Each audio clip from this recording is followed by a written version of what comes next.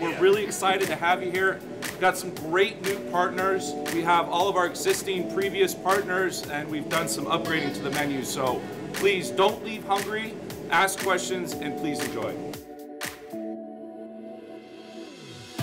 You know, the, the main focus is, is just making sure everyone understands what's available here at the stadium on a new level.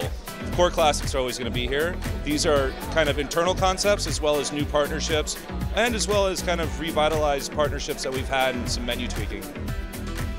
We have Fuku, so they're, they're offering their crispy chicken sandwich as well as their tenders and waffle fries. We have kind of our internal concepts, uh, cheesesteaks. We're doing uh, like a broccoli rabe and roasted pork, as well as like a crispy chicken, ranch jalapenos.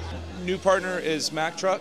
Great for kids, great for adults. Just really delicious mac and cheese. We have some toppings uh, like a buffalo chicken. We have a Mexican street corn. Kind of helps us with vegetarian offerings as well. Christian Petroni and his cheesy garlic bread.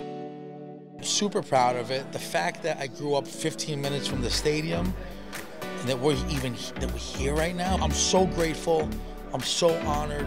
You know, City Winery, just uh, we did some revitalization with their menus and you know made sure it paired with their delicious wines. Uh, Marcus Samuelsson, all his all his traditional offerings over the last few years. You know, we have a great fried chicken sandwich, but also uh, chicken and waffles, uh, chicken fingers. Been cooking all over the world, but this is just something that hit hit the heart. Yankees, spring, summer, that's like New York City. Uh, more, nothing can be more New York City than that.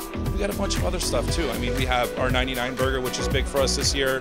We got great meat, we need great cheese. New school American cheese. It's a premium American cheese made with aged cheddar, real cream, real butter, salt, and sodium citrate. That's it. The best tasting, best melting American cheese ever made. The only American cheese worthy of the 99 burger. We're only doing 99 a game just to ultimately make sure that we're able to control the quality and the execution of that on a, on a game. The best part as chefs is we get to spend a lot of the off season trying new concepts, seeing what's popular, seeing what's you know kind of up and coming, uh, and also working with the Yankee partnership side to see what they have uh, working with. So um, a lot of it's internal concepts and a lot of it's uh, partnerships that the Yankees have forged that we get to you know ultimately explore and be creative with and, and offer a huge variety uh, to our fans, to our families, to everyone.